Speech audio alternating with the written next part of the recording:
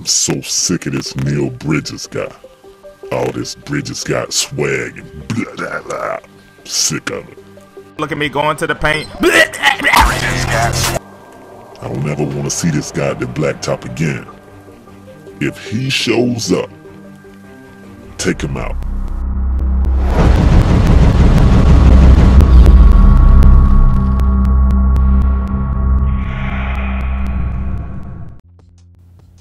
What's going on, Full House? It's K Spade, the prospect, the big blue Chevy driver. And folks, I'm back today with another NBA 2K14 gameplay. This time we out on the rooftop, so you know it's a crews gameplay. And as you saw in the intro, my little bro QJB has been banned from the blacktop, from the crews, from the rooftop, from the rucker. Too much Bridges got swag, too much blah, too much all of that, yo. So I'm trying to put a sarcastic spin on it, but in all seriousness, it's really ridiculous the issues that he's been going through with NBA 2K, current gen at least. Um, we've already had to restart our crew once, and I don't mean at the beginning. I mean maybe 50 games in, all of a sudden, everybody in the crew can get in the locker room but QJB. He goes to the crews, it takes him to the page where he's creating a crew. And we went to Twitter with it, we tried everything that people recommended us try. We dashboarded, we cut the game off, tried again. We reset routers, we up, up, down, down. We, we tried everything. Nothing would work. So we deleted the crew, we made a new crew, and that worked for a while. And then he just experienced more problems where every time he would go online, his Xbox would freeze. So, you know, when Deion Sanders decided it was over for him, all of a sudden we got Leon Sandcastle. So you see we got Bill out here. I ain't even gonna try to roll the last name off. But unlike my typical crew videos, I'm not gonna really do play by play. I'm gonna just talk about the new look made men as you see right here. Yo, TMM, first of all, shout out to everybody who rocked with us, whether it be this game or all the way back in NBA 2K11.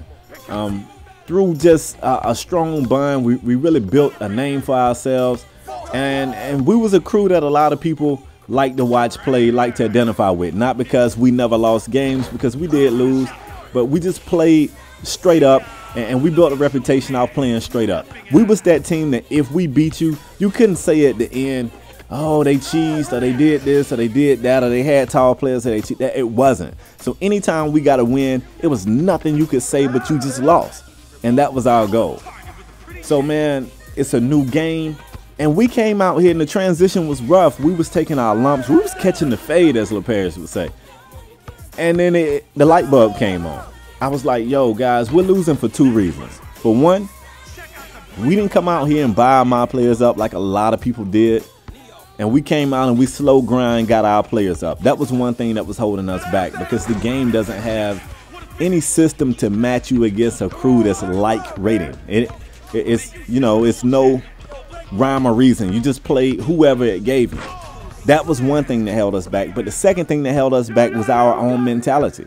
Because we was approaching this mode like it was crew mode. And it's not. I mean, it's nowhere, it's not crew. This is blacktop.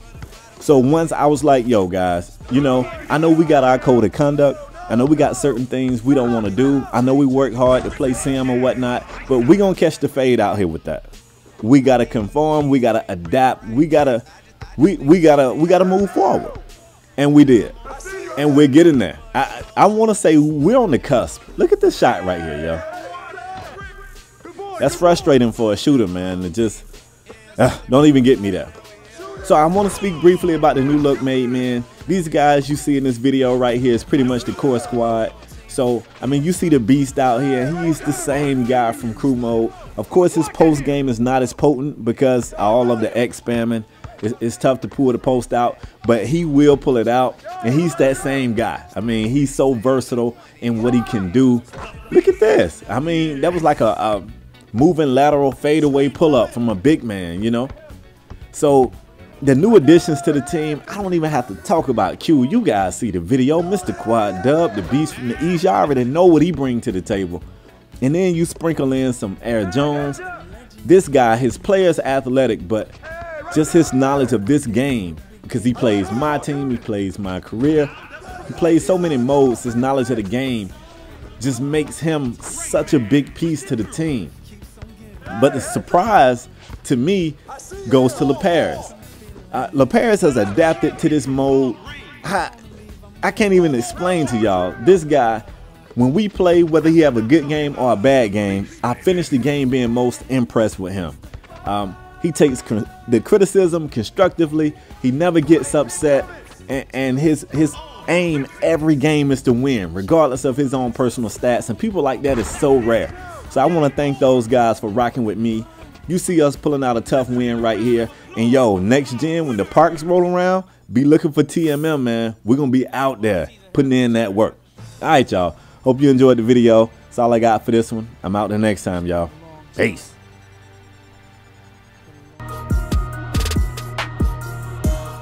Alright, Spade, if we're losing, we know why. oh! Alright, hold, hold on, Nike. I tell you